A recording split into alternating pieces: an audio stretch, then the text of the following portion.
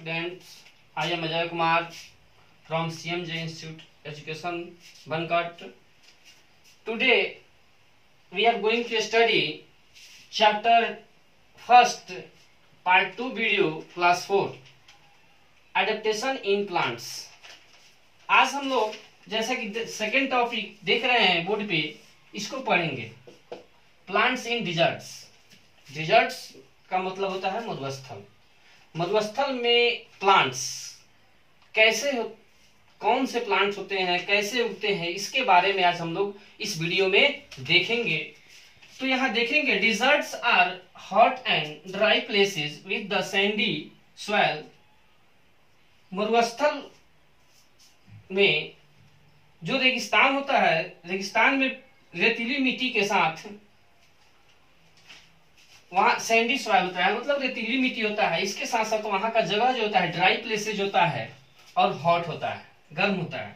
There is a hardly rainfall and little water is present under the ground कभी अगर वहाँ बारिश हो जाए, शायद ही कभी बारिश हो तो ज़मीन के नीचे जो होता है, पानी प्रेजेंट हो जाता है, जमा हो जाता है। Plants which need very little water and sorry can grow here वहाँ जो प्लांट्स उगते हैं, उसको कम पानी की आवश्यकता होता है। These plants store water in the in their stems और leaves and use it very slowly वहाँ जो प्लांट्स उगते हैं, वो वाटर को अपने स्टीम्स तना और लीव्स पत्तियों में वाटर को स्टोर करके रखते हैं। जिसका यूज़ वह धीरे धीरे करते हैं very slowly some plants in desert have small seasonal leaves that grow only after it rains कुछ प्लांट्स जो होते हैं डिजर्ट में, उसमें सीजनल लीव्स होते हैं। मतलब सीज़न में लीव्स निकलते हैं दैट ग्रो वह निकलते हैं ओनली आफ्टर इट रेन बारिश के बाद। The lack of leaves helps them reduce water वह लीव्स जो होते हैं, पानी को कम से कम रिड्यूस उत्सर्जित होने में मदद करते हैं। Cactus prickly pear and date plants are the some example of desert plants यह डिजर्ट प्लांट्स का कुछ एग्ज़ाम्पल है जिसको हम देखेंगे और यहाँ फिगर रफ फिगर में दिखाया गया आपको बोर्ड पे। डिजर्ट प्लांट्स का जो रफ फिगर है, यहाँ पे बोर्ड पे दिखाया गया है। कैक्टस है डेट प्लांट प्लांट्स है प्रिकीपियर्स है।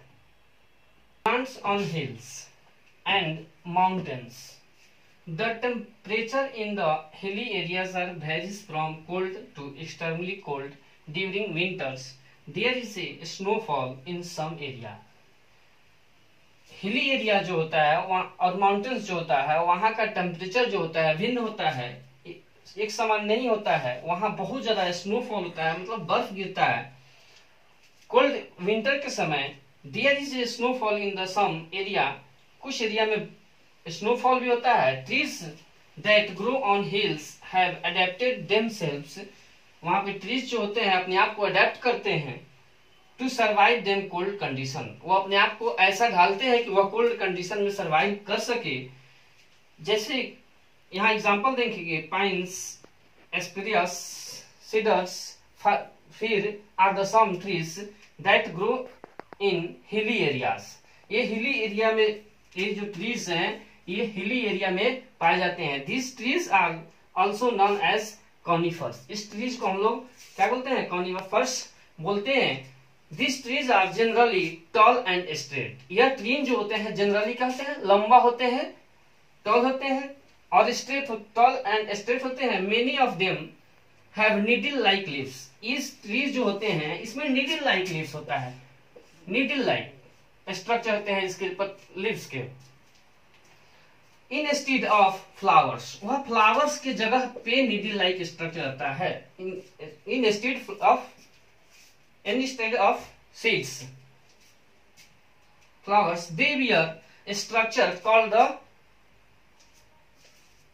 cones उसका जो स्ट्रक्चर होता है, उसको कोन्स कहते हैं. Cones C O N E S cones cones कहते हैं उसके स्ट्रक्चर को. इसको कोन्स कहते हैं. Seeds develop in the this cone seed जो होता है इसी कोन में डेवलप करता है। कोन्स में ही सीड क्या करता है? डेवलप करता है। नेक्स्ट टॉपिक पढ़ेंगे plants in plains plains area के बारे में पढ़ेंगे। जिस एरिया में, जैसे कि हम लोग जिस एरिया में रहते हैं वो प्लेन्स एरिया है। प्लेन्स प्लेन है ए मीट मॉडरेट क्लाइमेट्स यहाँ का जो क्लाइमेट्स होता है, वो मॉडरेट होता है।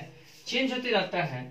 It is the neither too hot as in a desert जैसा कि डिजर्ट में जो होता है, वैसा यहाँ नहीं होता है not too cold as on the hills ना कि अब जैसा ठंडा हिल में पड़ता है हिल्स में माउंटेन्स पे जिस तरह ठंडा पड़ता है, उस तरह ठंडा यहाँ पर नहीं पड़ता है.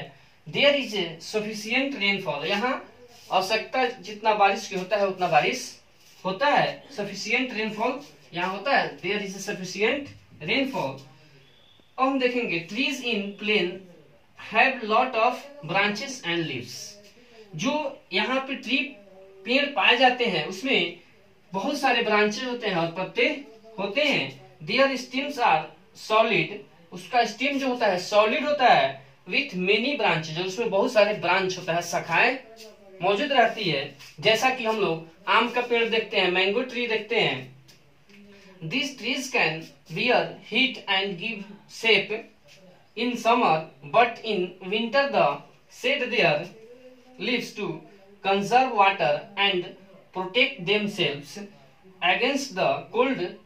Examples देखेंगे mango tree banyan tree peepal tree neem tree आम का पेड़ देखते हैं, नीम का पेड़ देखते हैं। बहुत सारे ऐसे पेड़ हम यहाँ पे देखते हैं, जो सभी वो सब पेड़ जो होते हैं प्लेन्स एरिया में पाए जाते हैं। मतलब कि उसको कैसा क्लाइमेट चाहिए? मॉडरेट क्लाइमेट में पाए जाने वह पेड़ है मैंगो है पीपल है बनियान है इटीसी